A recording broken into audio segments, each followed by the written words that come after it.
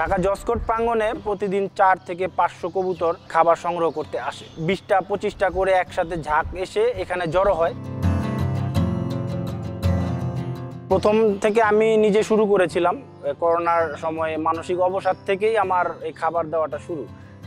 তো যখন খাবার দিতেছি, পাখির সংখ্যাও বাড়তেছে, তখন আমার স্কুল সতীর্থ বড় ভাই এবং আমার ছোট ভাই এবং আমার বন্ধু যারা, তাদেরকে নিয়েই এই খাবার দেওয়ার পরিমাণটা বৃদ্ধি করতে থাকলাম। এইখানে শুধু আমরাই না, অনেক আইনজীবী এবং বিচারকরাও খাবার দিয়ে যাচ্ছে বর্তমানে। প্রথমত আমরা শুধুমাত্র কবুতর নিয়ে চিন্তা করিনি। চিন্তা করেছি ঢাকায় বসবাসরত বিভিন্ন প্রজাতির পাখিদের নিয়ে। পাখিদের খাবার দিলে যদি পাখির সংখ্যা বৃদ্ধি পায়, তাহলে আমাদের পরিবেশের যে ভারসাম্য কিছুটা হলেও আমরা অটুট রাখতে পারব বলেই চিন্তা করে পাখিদের জন্য খাবার দেওয়া শুরু করেছিলাম। এক পর্যায়ে দেখতে পেলাম জ্বালালি কবুতরের আধিক্য দিন দিন বৃদ্ধি পাচ্ছে।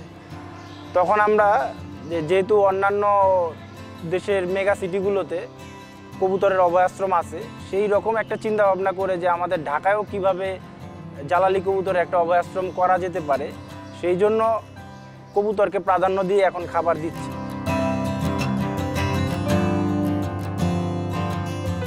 আপনি চাইলে আপনার বারান্দা, আপনার যে জানালা, সেই জায়গায়ও আপনি একটা পাত্র রেখে খাবার দেওয়ার একটা অভ্যাস করতে পারেন। হয়তো প্রথম অবস্থায় একদিন, দুই দিন সেই পরিমাণ আসবে না।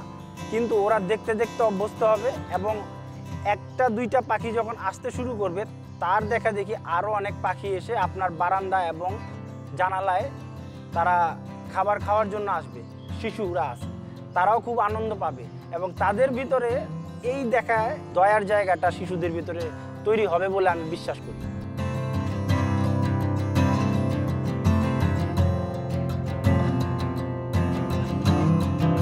মানুষ, পশু, পাখি, প্রকৃতি, সবাই যে একই প্রকৃতির অংশ, সেটা আমরা আসলে ভুলে যাই। এই পশু, পাখি এবং প্রকৃতির ক্ষতি সাধন করলে একটা পর্যায়ে গিয়ে আমরাই যে এই সমাজে বা এই পৃথিবীতে টিকে থাকতে পারব না, সেই কথাটা আমরা বারবার ভুলে যাই।